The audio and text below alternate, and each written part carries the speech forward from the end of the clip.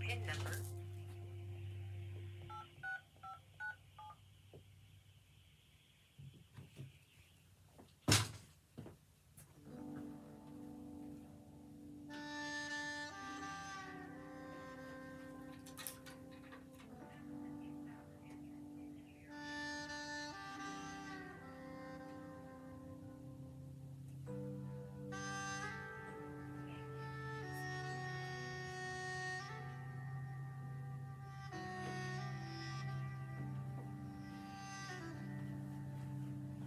Good afternoon to everybody. Good afternoon to everybody. Good afternoon to everybody welcome, welcome in to everybody. Good afternoon. This is the day that the Lord has made and we're going to rejoice and be glad in this day. So welcome in everybody. It is a tremendous, great day to be alive. Another great opportunity uh, to come together and grow together in our name of the Lord Savior Jesus Christ. And I'm just so excited and so grateful for your presence with us on this awesome, wonderful Wednesday. That's right, it is Wednesday that we get to come together again and share in the Word of God to grow together again today more than we did on yesterday. So good afternoon to everybody. Welcome in to everybody. It is a great day to be alive, everybody. Shoot me those good afternoons if you're watching live. Uh, if you called in on our call line, we thank God for you calling in. Amen. And uh, today we're going to have Minister Reagan that's going to pray for us. Uh, that she's on the line today, right? Amen. Well, we're going to get ready in just a little while to open up. Let's take our time now and share and invite with one another. Shoot me a good afternoon if you are watching live today on Facebook or on our YouTube channel. And if you hadn't subscribed to our YouTube channel, go to YouTube, Living Faith uh, Bible Church, and subscribe to uh, the YouTube channel go to YouTube there at Living Faith. Yeah, there it is. Amen. Living Faith Bible Church.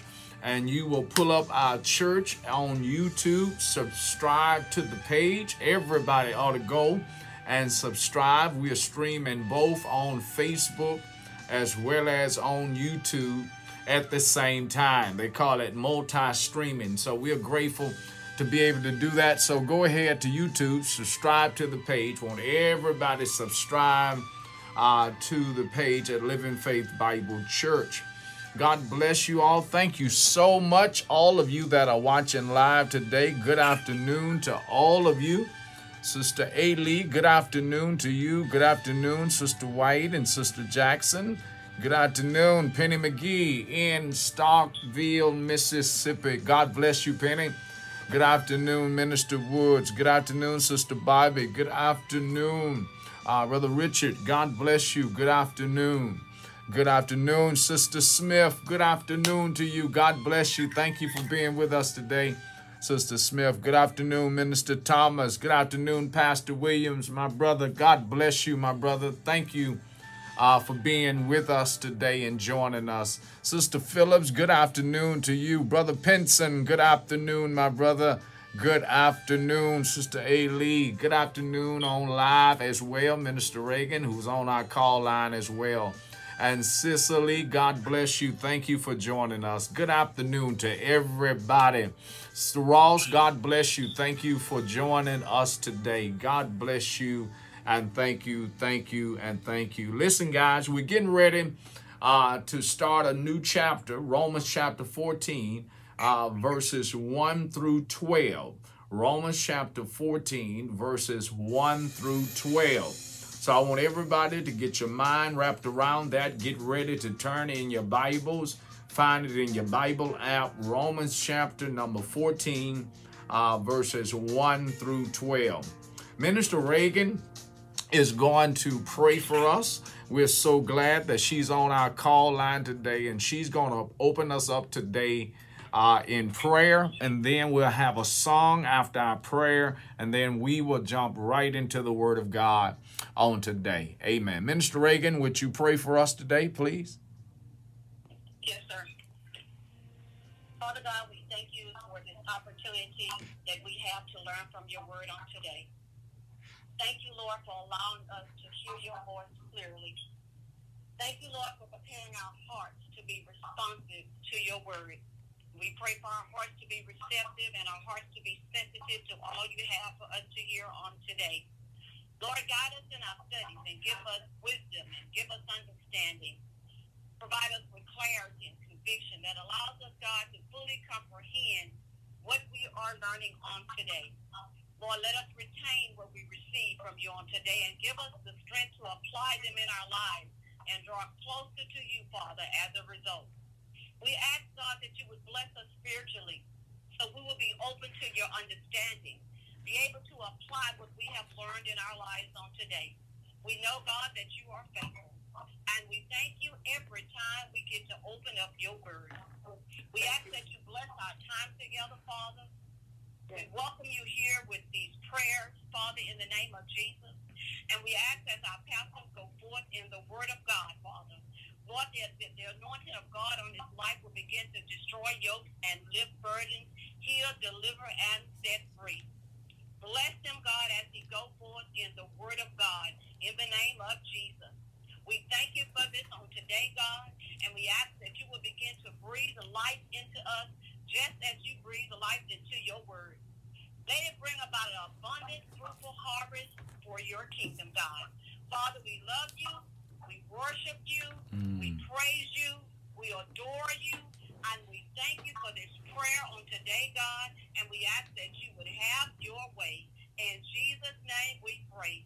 Amen and amen. And to God be the glory. Amen. Amen. Amen. God bless you. Thank you so much, Minister Reagan, for praying for us today. Thank all of our ministers for participating and being a part of this noonday ministry. This time we're going to have a song uh, and we're going to go forward with the word of God.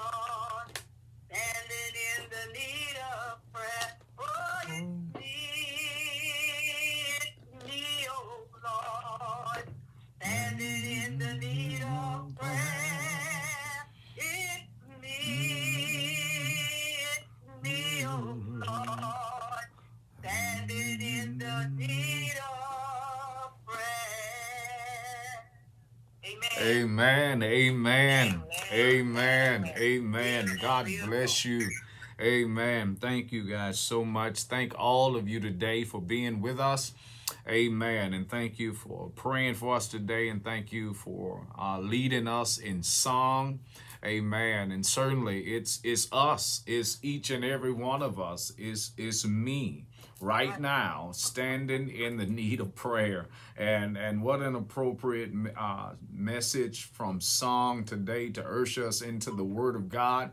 Again i want to thank god for each and every one of you that take time out of your busy schedules to be with us to share with us and to grow with us in the word of god. This season is urgent child of god that we get biblical truth uh, that we take time and make sure that we are being uh, trained properly with biblical teaching, the truth of the Word of God, a consistent diet of biblical teaching. That is paramount.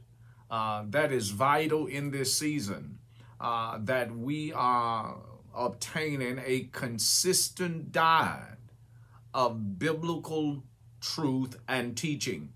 Ladies and gentlemen, it is paramount. Whether you're here or whether you are part of another ministry, make sure that that ministry is crystal centralized on a appetite and a hunger and a longing to teach the whole Christ from the whole Bible to form the whole person. And we got to do that by continuously preaching and teaching through the Bible, through the Word of God, and learning and growing. So, friend, that we can eradicate and eliminate the reality of biblical illiteracy in the church, uh, biblical ignorance, even in the church. It is vital. So, friend, that's our mission.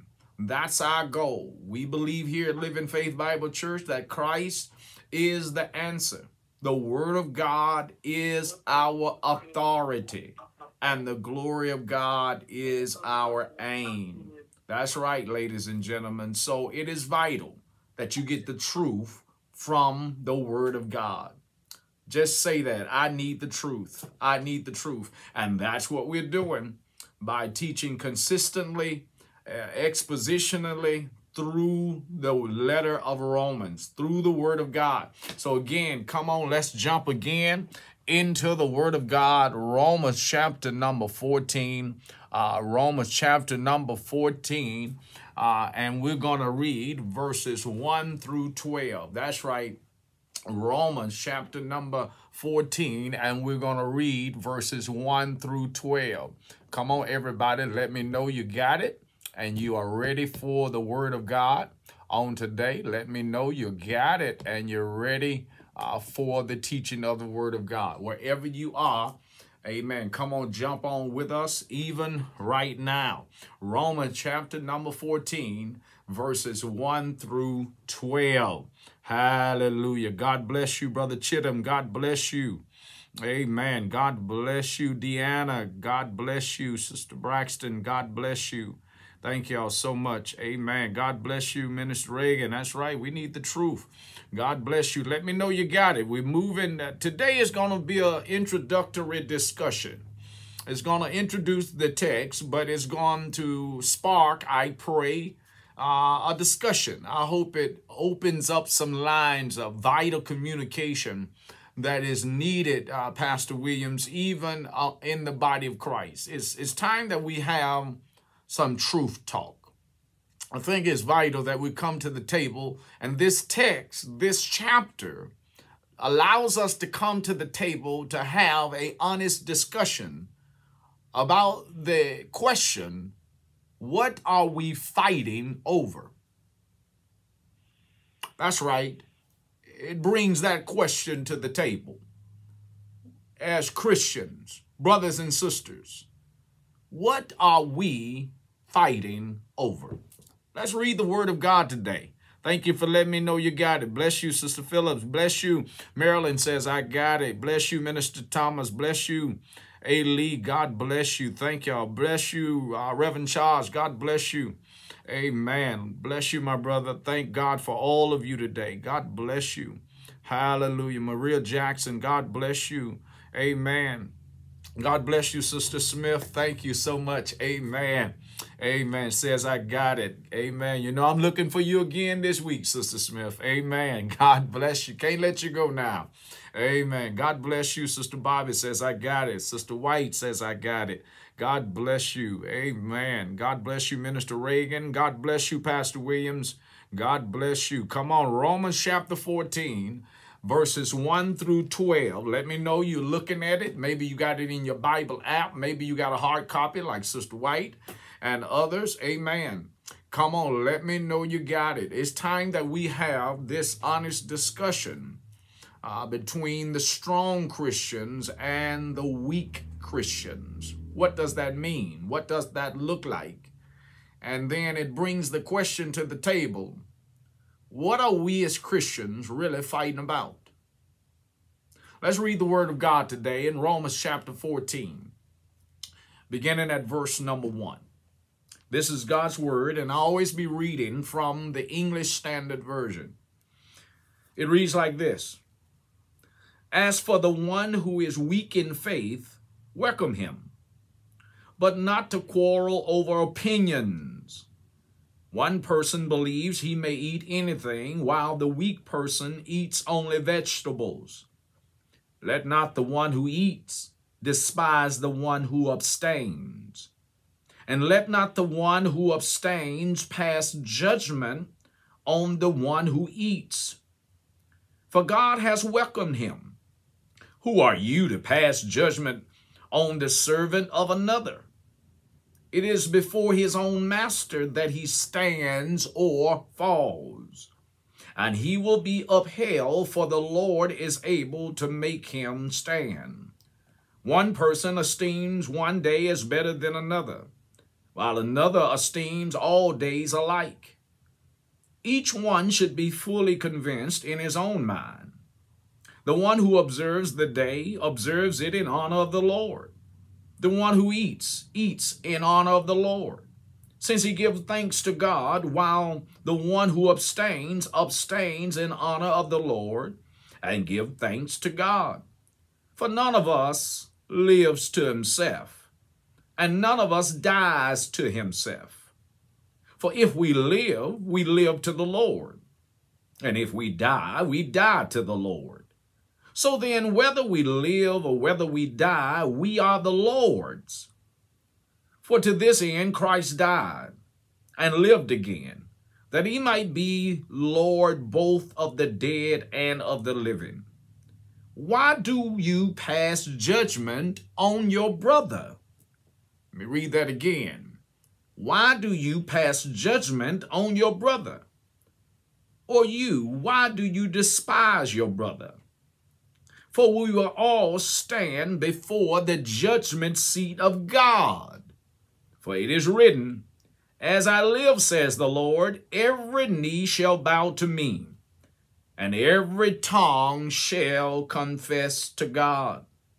So then, each of us will give an account of himself to God. Wow. That's God's word today for God's people. May it sanctify your life and certainly ultimately conform all of us to the dynamic image of our Lord and Savior, Jesus Christ. Unity within the Christian community. Overall, the strong and the weak Christian. Unity within the Christian community. I want everybody to write that. So you get started right with me in these lecture series that's coming up in the coming days. The strong and the weak Christian unity within the Christian community. Can I start by really asking a question? And this question is only geared and only directed at believers. It's only directed at, at the local church. It's only directed to the body of Christ. This question is only directed to the community of Christians. Here's the question. What are we fighting over? Why are we so divided? Why is there such and so many varieties of voices and visions concerning his church. What are we fighting about? What is the fight about? What is one of the biggest problems is that the church is facing too much friendly fire while being bunkered in the same foxhole. Let me say that again. The, the modern church is facing too much friendly fire while we are supposed to be bunkered in the same foxhole. While we're supposed to have our eyes on the same enemy. While we're supposed to be gazing at the same redemptive horizon While we're supposed to have our ambition set on things above and not on things below. While we are supposed to be the called out ones, the ecclesia. While we're bunkered in the same foxhole, why are we suffering from so many casualties as a result of friendly fire? Why is it that it seems like when the true enemies show up, we have no more ammunition because we have used up all of our bullets on each other. Be it the leadership fight, be it child of God, the internal political polluted propaganda that parades through the parish of most churches? Could it be the hierarchy reality of the power struggle in the church? Could it be the different cultural nuances that arrive at a local church and they can never appreciate the beauty of diversity? Instead, they allow the very uh, beauty of the creative diversity that God made to, to divide them and separate them into an atmosphere of animosity, jealousy, envy, even hatred at times. Ladies and gentlemen, could it be the very reality that we're supposed to be preaching the power of redemption and the truth of the gospel? But instead, now we would rather get an autograph from a superstar in the pulpit than to get answers from true preaching that will give you assurance for a sin sick soul. Could it be the competition, the consumeristic appetite of the congregation has gotten us off track? What are we fighting about? This tug of war between the strong and the weak, the traditionalist and the non traditionalist, the traditionalism versus the contemporary, the hymns versus the gospel singing. Contemporary, the new age versus the old fashioned. What, what are we fighting about? The fashion of the church, the images in the church, the dress of the congregation. What are we fighting about? What are we fighting about? Why is it that it's so hard to cross that road. Two different idealistic ecclesias on two different sides of the street, while neither one desire to merge into a place of ecclesiastical unity as oneness. After all, wasn't it the prayer of Jesus in John 17 while Jesus prayed in the real Lord's Prayer? Lord, keep them from the evil one of this world. And then he further prayed, God, make them one as we are one. What are we fighting about? What are we fighting about? We need the truth. We need the truth. That was a major rule in my home. Growing up as a boy there in Columbus, Mississippi, where I'm from, my parents did not tolerate any fighting in the house. No, they did not tolerate any fighting in the house. My father would issue out uh, one of the greatest punishments for breaking this rule.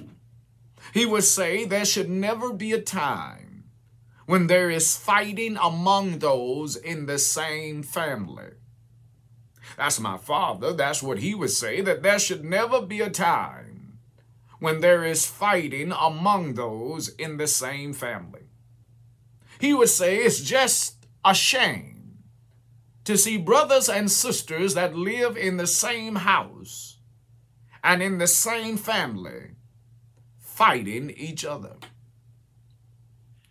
Let me say that again. This is my father's theology. He would say that it is just a shame to see brothers and sisters in the same house, in the same family, fighting each other. Friend, it may be old school parenting theology, but it has certainly modern application and relevance to it even right now. For this is the same shame that is seen when you're in the same house of God, the same family as a Christian. That friend is a shame. Our brothers and sisters in Christ fall out over the most trivial realities, over the most non-essential, non-scriptorial realities that has nothing to do with truth, has nothing to do with the gospel, has nothing to do with foundational theology, has nothing to do with the presentation of the Word of God, but trivial preferences that we so prefer in our churches.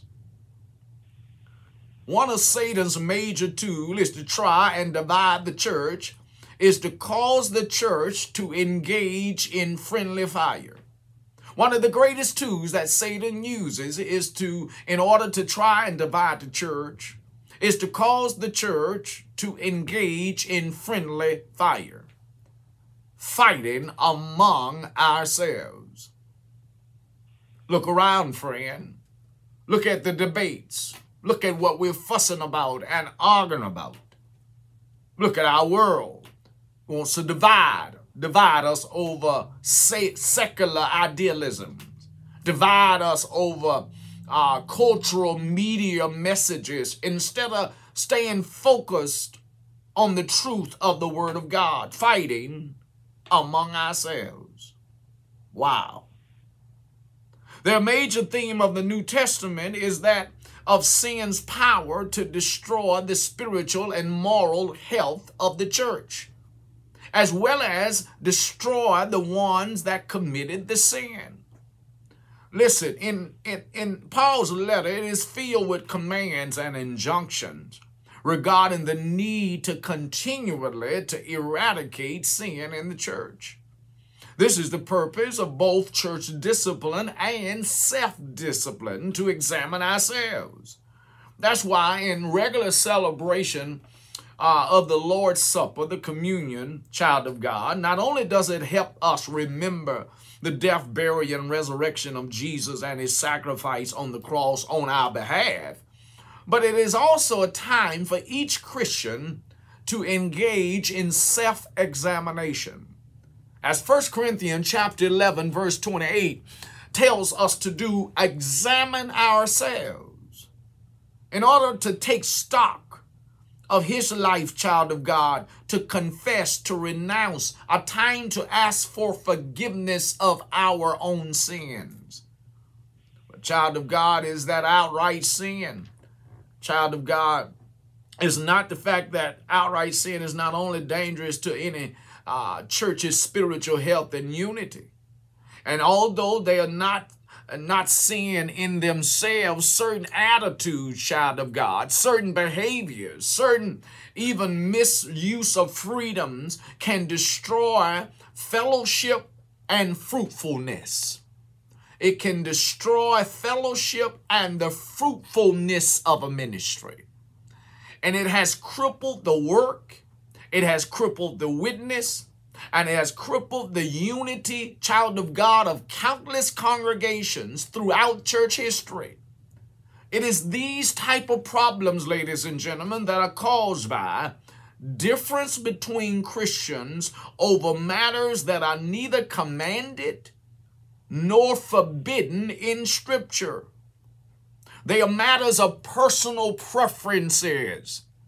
They're matters of historic traditions which men and others have imposed on themselves. And this inevitably, friend, has caused confusion. It has caused strife. I mean, it has even caused splits in churches. It is ill will, abused consciences, disharmony. Because, friend, the reality is you've been hurt a lot of places. But there's no hurt quite like church hurt. But yet you abandon the church because of your church hurt. but nobody was hurt as much as Jesus was hurt by the church, and he still shows up. Pain, division. Ladies and gentlemen, what are we fighting for? Trivial issues. These are the realities that cause much disharmony in the church. This is even a reality in small congregations. It doesn't matter how big or small the church is. There's often a considerable differences in churches, uh, differences of age, difference of education. There's differences of maturity. There are different personalities and cultural and religious background. There are different uh, presuppositional uh, paradigms of prejudices. There's there's different realities and rationales about racism. Child of God, all of us come from a plethora of environments and we meet as the gathered church in the ecclesia. We come from different places, different backgrounds, different idealisms. Uh, our route to God was different, but the way must be the same. And that way is through Jesus Christ. Ladies and gentlemen, these differences uh, difference of religious background. Some members may come from uh, a long line of pastors and missionaries and evangelists. And those other families may have, a heritage of strict legalism, while others have one come from one uh, maybe open realities, uh, openness of their theology, openness and freedom. While some members may have been accustomed to a high structured paradigm of worship, a liturgical reality of worship, and then while others may come from a largely unstructured sense of worship, a place of worship where it experienced the spontaneity of God, uh, a spontaneous reality in worship. People come from different places. Now, now some may have heard the gospel and, and they have been exposed to strong biblical teaching for a long time. And, and, and they've been accustomed to structure and what the Bible says for many years. But there may be others that may have heard the truth of the gospel only recently and may have heard it once to bring them to salvation and understand only the bare minimal elementary essentials of the gospel. And some may have been converted right out of paganism, right out of the world. Some may have been converted out of cults, out of liberal Protestantism, uh, Roman Catholicism. Uh, some may have come from Judaism. Uh, may it be atheists. They may be atheistic humanism. Uh, they may be part of just many religious indifferences. They come from a lot of places. Ladies and gentlemen, in some regard, it is this diversity, it is this beautiful portrait of the power of God to save. It is this diversity that should be the strengthening component of the local congregation because it displays the beauty of diversity in God's grace and God's creation. This is what it's supposed to look like. Church should not be a church with walls of prejudices. The church shouldn't be a wall that blocks certain people from coming because they come from the wrong sides of the idealistic tracks of life. No, friend, it should be a church without walls. It's this beautiful diversity that God can take all of these beautiful differences in his creation and bring them together. Be they black or white, Asian or Hispanic, no matter where and what cultural background you come from, it is the grace of God that levels our place at the cross. It is the grace of God, child of God that brings the equality to the reality of the ecclesia. It is God's grace to save. It is his power. Therefore, it is this beautiful diversity that should bring us together. It is the power of Jesus Christ to bind together dissimilar people in a fellowship of genuine and profound unity. Let me say that again. It should remind the church herself and witnessing those that watch in the world of this power of Jesus Christ. Listen to this to bind together dissimilar people in a fellowship of genuine and profound unity. You want to see what true unity looks like? Look over who's watching. There's a diverse difference of people black, white, Hispanic, Asian, European, have come from different environments of idealisms. Some may have been in church a long time, others just now coming to the church. But look at the power of God. How he can bring such a very dissimilar coalition together and seat all of us under the authority of the power of the gospel of Jesus Christ. That's the beauty. You're up here trying to select the church like it's some Baskin Robbins with 31 flavors. And that's the problem of churches. When the church has conformed to the consumeristic appetite of the world, and in order to keep your consumers coming, you got to continue to offer them different flavors. Wow. See, after a while, you're going to run out of flavors. When God has so commanded, so distinctly told us what to do. Go ye into all the world, preach the gospel. Go ye and make disciples. Go ye therefore, teach them whatsoever I have commanded you, baptizing them in the name of the Father, the Son, and the Holy Spirit, and lo, I will be with you. You're going to keep on compartmentalizing your convictions until the substance of the conviction will no longer remain. Ladies and gentlemen, God can take all of these dissimilar realities and bring them together by the grace and by his power. And it creates a beautiful picture of unity. Ladies and gentlemen, the Lord did not plan, and hear this, the Lord did not plan for his church to be divided into a hundred different varieties. Wow. I think I'd better say this. I need to say this. I need to say it. The Lord never planned for his church to be divided into a hundred different varieties. Let me say it again. The Lord never planned for his church to be so divided into 100,000 different varieties.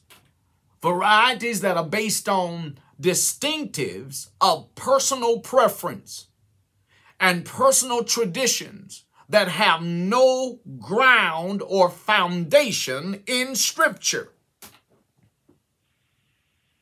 Just doing something to do something and don't have no idea why you're doing something. Let me say it again.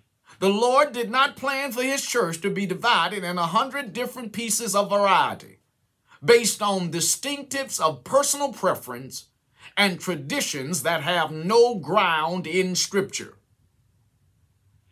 We got a Baskin and Robin mentality in the ministry of the church because of personal preferences and our own made traditions. After a while, you're going to serve so many flavors until people going to forget what, what, what is your main flavor. See, when you got so many options, you tend to lose sight on the priority. Ooh. When you got so many options, you tend to lose sight of what's the priority. Ladies and gentlemen, what a word. What a word for our lives. Please hear me today, child of God.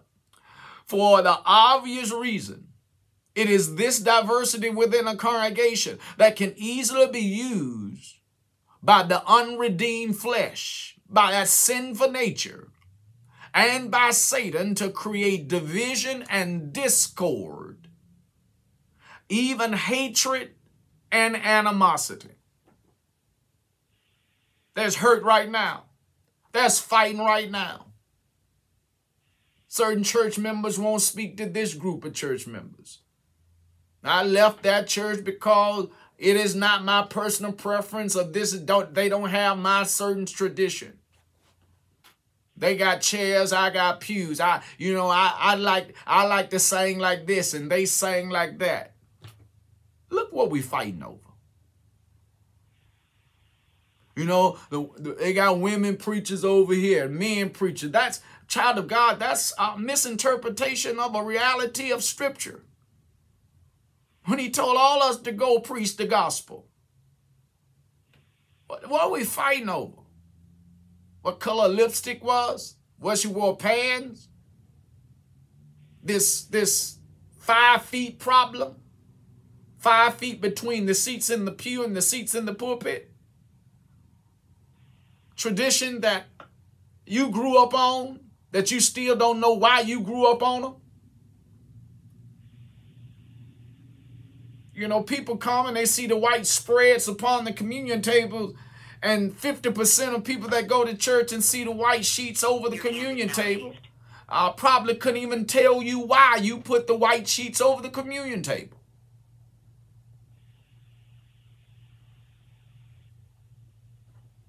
Couldn't or it's something to do with purity. It's something to do, no.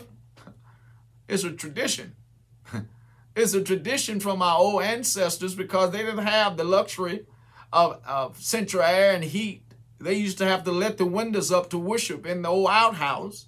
So when it was time to serve the bread and the wine, they would cover up the bread and the wine uh, with, with nice white linen, child of God uh, in in order to keep the flies and, and the maggots and, and, and the critters off the meal. So that, that's why they covered the table. that's a tradition. That it, that's not a biblical tenet. But we're fighting over stuff that has no grounding in the Word of God. So it was it's, it was Paul great concern that every Christian have a deep desire for preserving the unity of the Spirit in the bond of peace.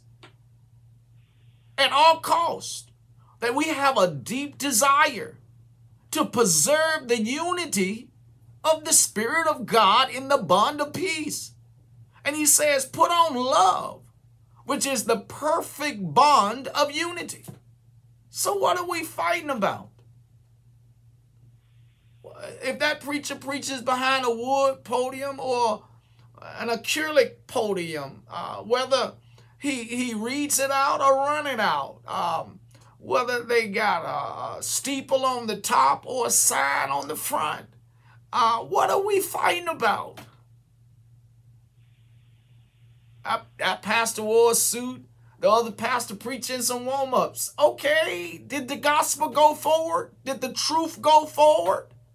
What what are we what are we fighting about? You see how easy it is to waste our time in that which is not important.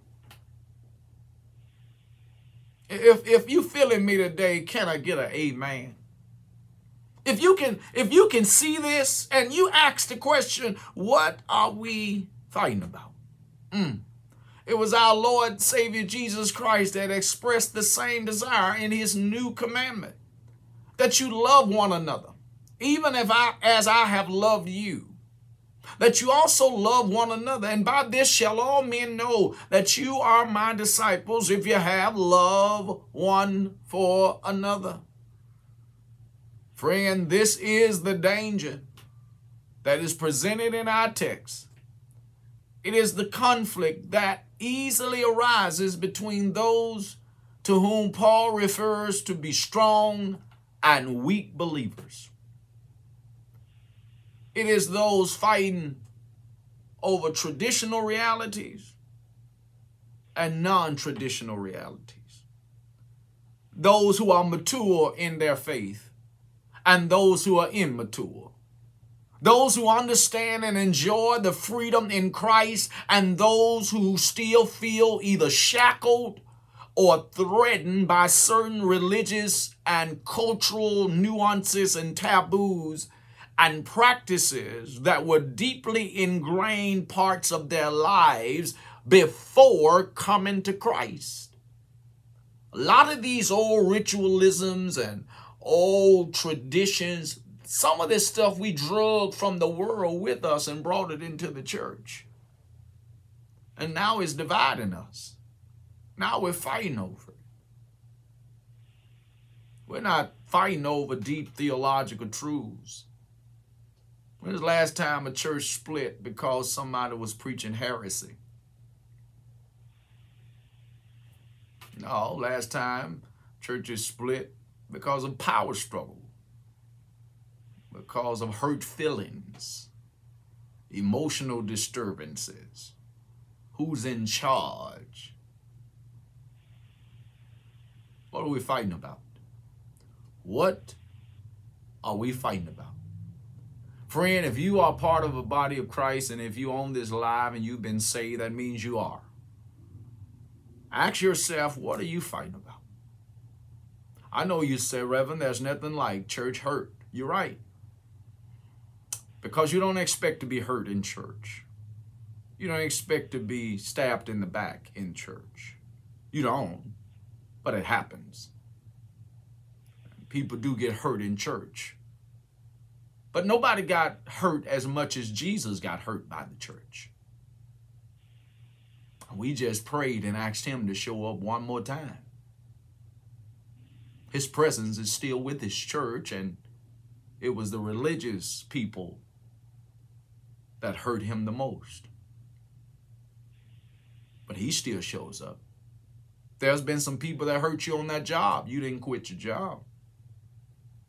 There's been some people that hurt your feelings in that restaurant, and you still going back. I've been some friends you're still friend with. They hurt you, you're still friends with them. What are we fighting about? Friend, always remember you shouldn't have no jealousy about what somebody else does. Because what God is giving you, He's giving you. Use what God is giving you. Let's all work together. If they read it out, run it out, write it out, They dance it out. We got to get the gospel out.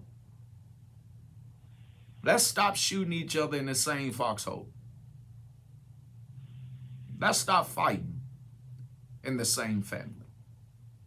And Pastor, if you got something negative, derogatory to destroy another pastor with, uh, keep it to yourself We got enough hurt. We got enough pain. It's time for us to stop the clergy competition and engage in some clergy complementation. Compliment each other. Brother, you're doing a good work. Sister, you're doing a good work. Stay on the wall. May not be like me, may not dress like me. Your preferences may not be my preferences. But stay on the wall preach the gospel. Walk in your place of calling. I'm proud of you. I'm with you. Young person, my preference may not be your preference, but I'm not going to fight you. Friend, their routes come from many directions, but we all got to arrive at the same destination, and his name is Jesus Christ. And what we ought to fight is these prophets or so-called prophets and preachers that are eliminating the very Christocentral requirement for salvation. Today, many are barking up this tree that you don't need to come by Jesus to get to God. That's what we ought to be fighting. Because that, friend, is erroneous heresy. There's no one that comes to the Father except they receive by faith the Son, Jesus Christ. What are we fighting about?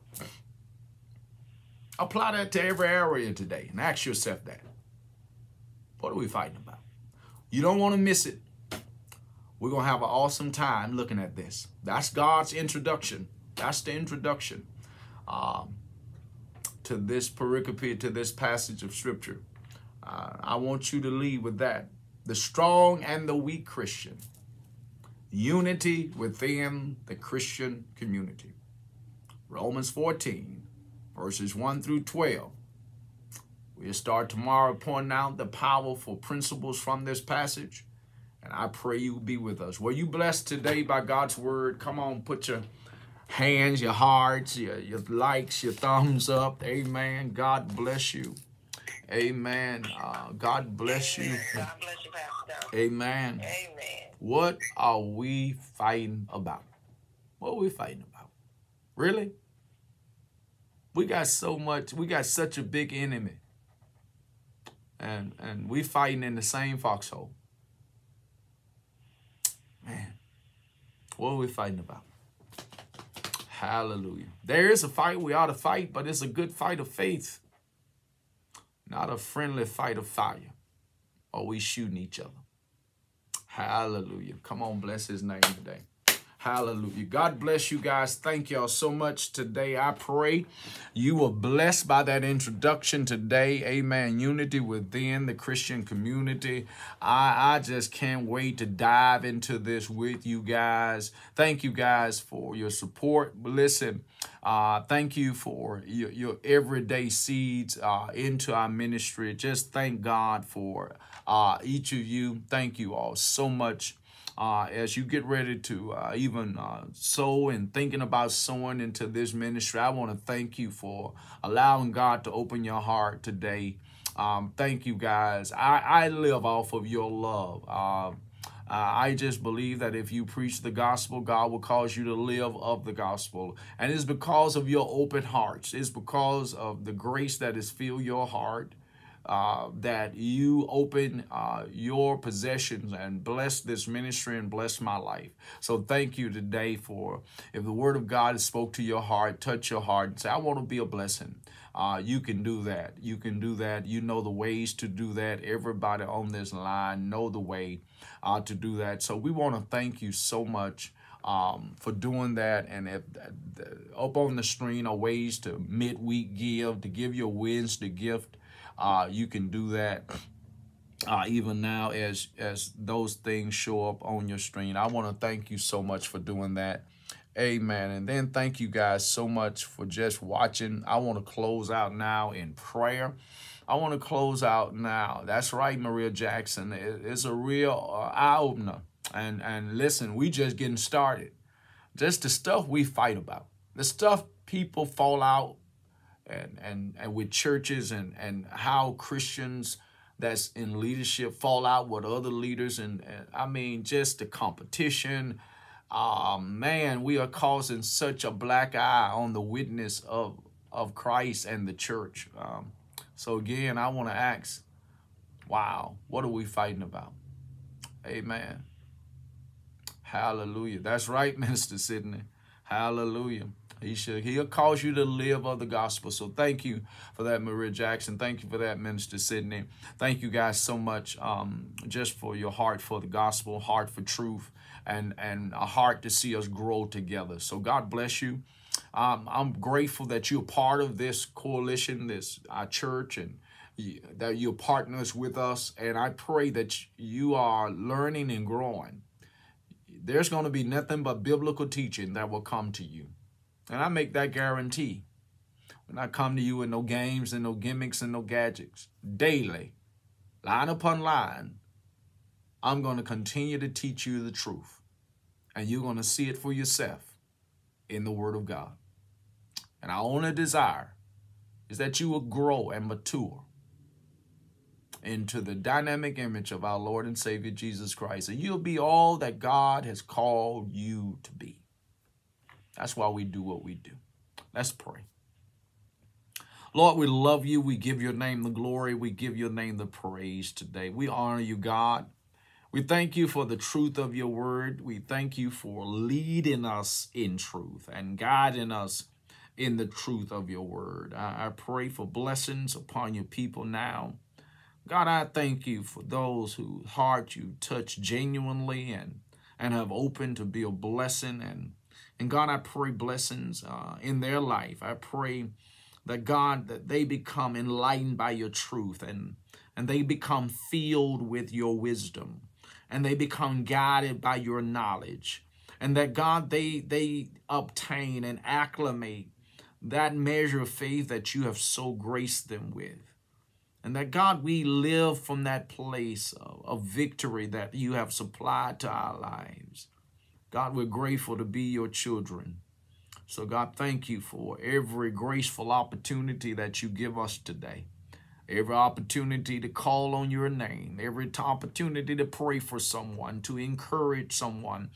God, to witness about your son to someone today. Thank you for that opportunity. And God, we pray for those you're saving now. We pray for the word that's working in somebody's life. We pray for the growth of grace on somebody's life right now.